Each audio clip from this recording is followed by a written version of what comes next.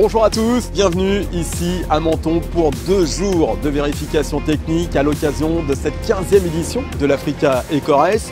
En clair, l'ensemble des véhicules va entre les mains d'experts pour savoir s'ils remplissent toutes les conditions nécessaires, notamment en termes de sécurité, pour participer à cette épreuve longue de 6000 km. Cap sur Dakar et son mythique Lacrose. En attendant, je vous propose d'aller voir ce que c'est qu'un véhicule de course générique.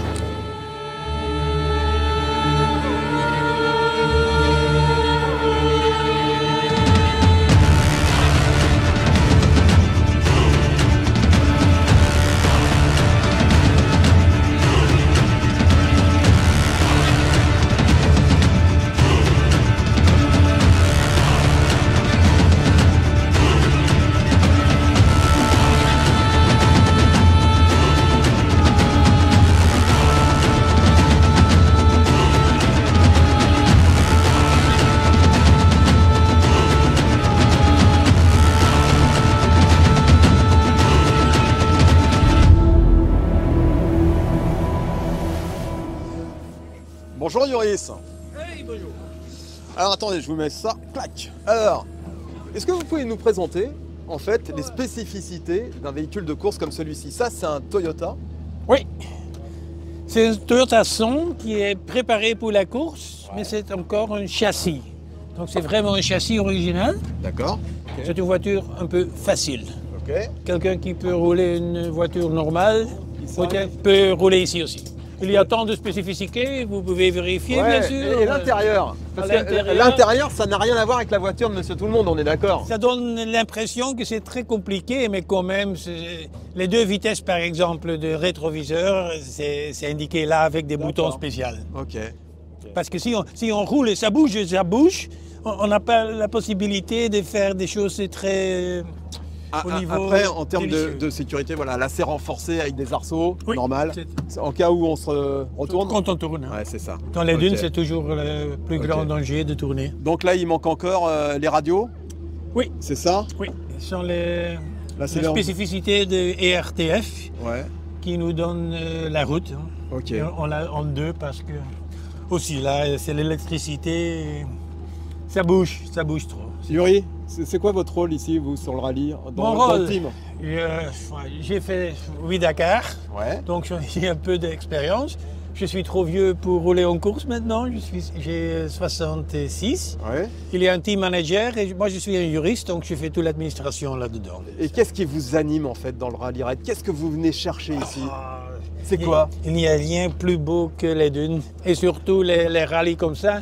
Il y a les amateurs, il y a des, C'est ça. des Là, vous personnes- venez vraiment rechercher l'origine des rallye raids, l'authenticité. C'est ça l'Africa Eco Race. Bonjour. Bonjour. Je vois que vous êtes en train de vous balader un petit Oui, peu ici depuis oui. tout à l'heure. Ça vous fait rêver un peu cette Africa Eco Race J'adore ça, j'adore euh, les choses vieux et, et voilà. le- le- on vient rêver un peu d'Afrique, on ne peut pas le faire, on n'est pas capable de le faire. Je, je le sais, je sais bien, mais rêver, c'est pas interdit au moment.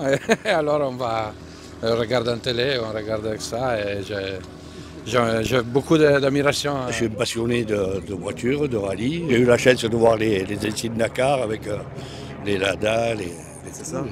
Et ici, l'esprit est conservé. et conservé. On a, on, a, on a droit à rentrer au milieu des concurrents.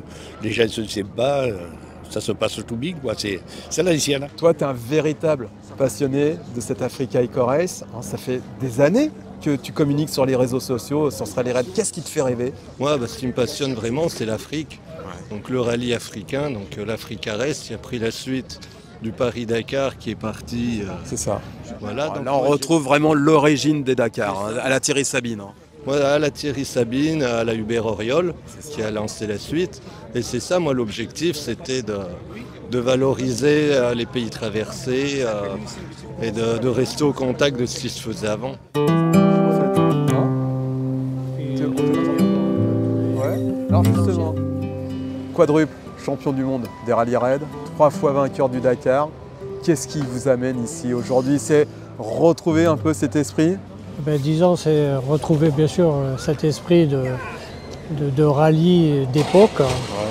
Ça fait plaisir de retrouver euh, cette ambiance de- d'amateurs, de, de gens qui veulent se faire plaisir. Il y a un côté aventure, c'est ce qui, euh, qui est important dans, dans ces rallyes-là.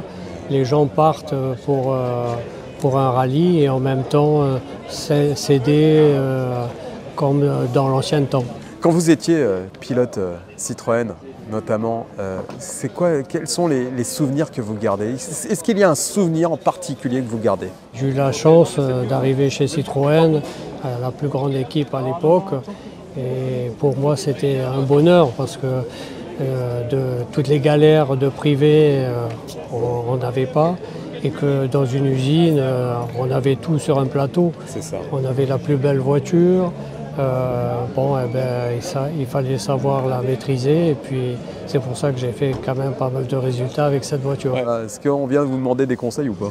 Ben, tout à l'heure, j'ai vu un concurrent, j'ai dit, bon, euh, Dakar, comme j'ai toujours dit, est loin, donc il faut quand même économiser son matériel et il ne faut pas faire souffrir euh, la voiture au départ du rallye et garder, euh, euh, ne jamais crever et essayer de, de rentrer le soir avec un véhicule propre et de pas trop la fatiguer. Il faut savoir ménager sa monture. Voilà, c'est.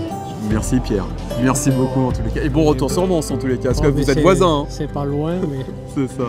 Mais bon, ça fait toujours rêver de voir euh, autant de, de personnes qui, adorent ce rallye. Je félicite Jean-Louis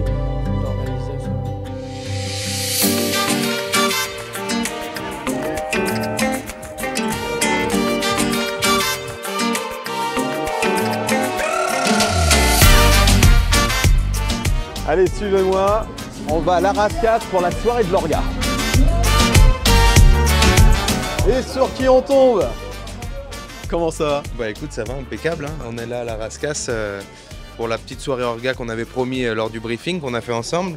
Et puis euh, voilà, euh, histoire de se détendre après cette première journée de vérification. Je pense que tout le monde est, est bien fatigué. Une grande journée euh, où tout le monde, euh, tout le monde est à bloc, bah, que tout le monde puisse se retrouver dans un cadre un peu plus euh, tranquille, sans obligation, boire un verre. Et puis voilà, et euh, tranquille quoi. Bon, ça se passe en haut? Ouais, Ouais, on y va. Jean-Louis, on joue les portiers maintenant. On fait des ouvreurs. Ah oui, je fais. Je veux voir tout le monde comme ça, je vais regarder ceux qui sont pas venus. C'est ça. Je vais vérifier. Euh, Contrôleur. contrôleur. Ouais. Bon. Ah, mais ça fait plaisir de voir tout le monde là. Ouais. Pour un pot de l'amitié. Pour tous les gens qui vont travailler sur l'organisation. Voilà, c'est ça. C'est Parce que sans, les bénévoles, l'Africa n'existerait pas. N'existerait pas, ouais. On Tu est as, vu, tu as vu mon message, hein. C'est ça. c'est ça. Merci en tous les cas. Avec Bonne plaisir. soirée et merci pour l'invitation. On va se revoir. Merci.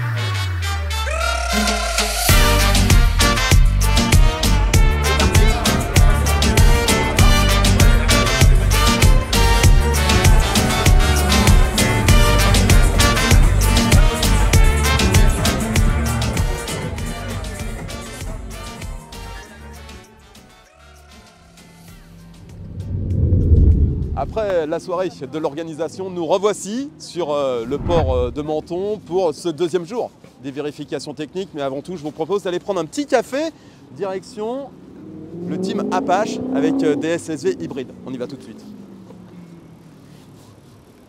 Bonjour Cédric.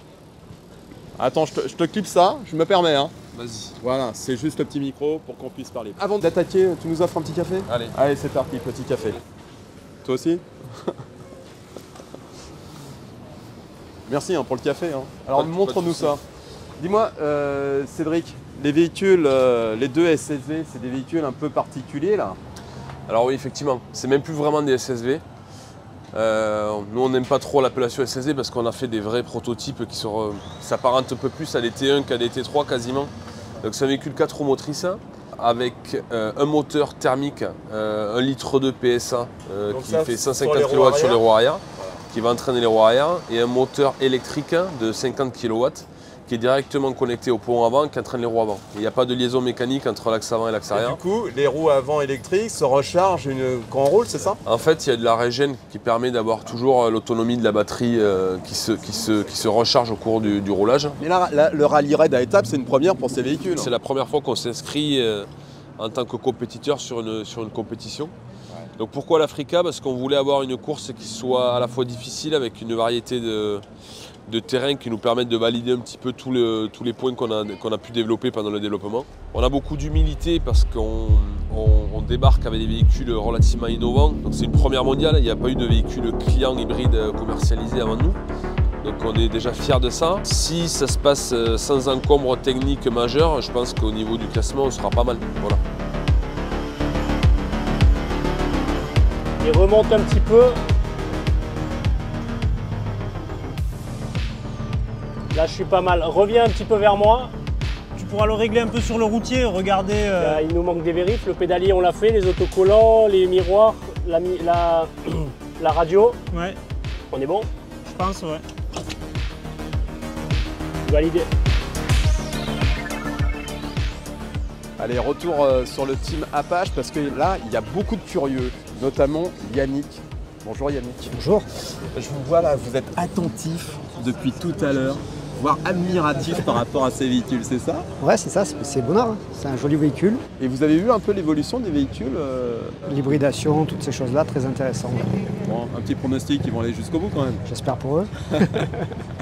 Merci en tous les cas, Merci. Yannick. Bonne journée. Bonne journée à vous. Merci, au revoir. Allez, après euh, cette découverte de ces sacrés engins, je vous propose d'aller faire un petit tour à la boutique. Hop, la boutique de l'Africa, de l'Africa Ecores, pour voir un petit peu comment ça se passe. Bonjour. 38. Uh, I've got 40, 30. 40. Alors, qu'est-ce qui marche le mieux Euh, les t-shirts comme d'habitude. Les t-shirts. t-shirts, les t-shirts de cette année. Ouais, oui, Celui-ci. Le beige aussi. Ouais. Et, euh, et les mugs aussi. Les mugs, ouais.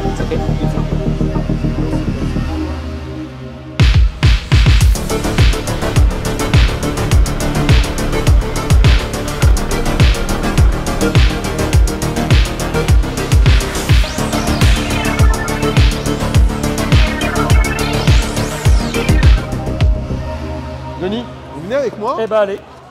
Venez me montrer un petit peu ce que vous allez faire en fait sur ce véhicule concernant les vérifications techniques. Quels sont les points clés que vous allez vérifier? Alors, ce qu'on vérifie en priorité, euh, c'est tous les organes de sécurité. Parce que ça, c'est vraiment, vraiment Les primordial. Voilà, c'est-à-dire on filets. commence en général, le premier truc qu'on regarde, c'est la cage, c'est-à-dire l'arceau. Ensuite, Ouais, les sièges, les harnais. les sièges, les harnais, vous voyez, sur chaque harnais, euh, il y a une étiquette FIA avec les dates de validité. Et alors les petits détails, c'est par exemple ici le coupe-circuit. Donc on démarre la voiture, on appuie sur le bouton pour voir si tout s'arrête.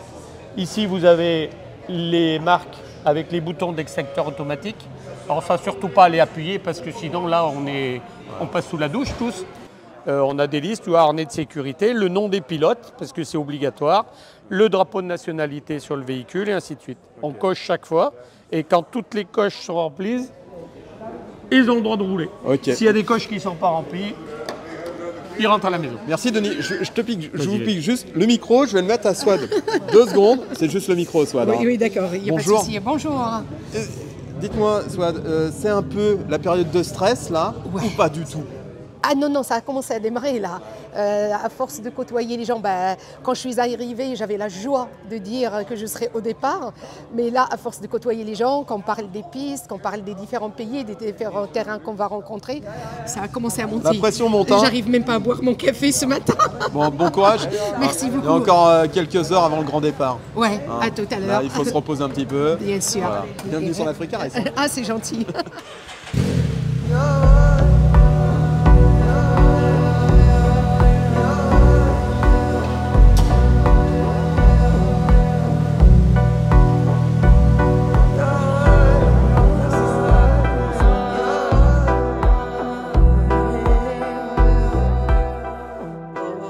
Ça y est, les vérifications euh, techniques sont terminées euh, depuis la fin de journée. Et nous voici désormais, il est exactement 18h30, juste avant le fameux départ de cette Africa Race 2024. Nous sommes sur le podium, sous l'arche de cette euh, 15e édition. Vous voyez, l'équipe de l'organisation qui peaufine les derniers détails avant ce grand départ.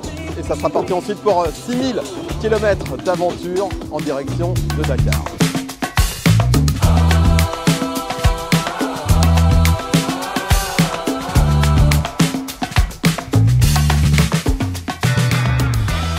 Avant ce, ce grand départ, je vous propose d'aller voir un petit peu le public, savoir ce qu'il fait là. Bonsoir Vous venez là pour passer la soirée avec nous Vous venez voir les véhicules Oui, bien sûr. C'est ça Vous venez chaque année ou c'est la première fois? Non, c'est la première fois. D'abord, c'est beau, et puis des fois, on rencontre des pilotes avec qui on parle. Et puis, bon, les motos sont ex- ex- exceptionnelles, les voitures et les camions aussi, quoi. Je veux dire, ils vont vivre une belle aventure.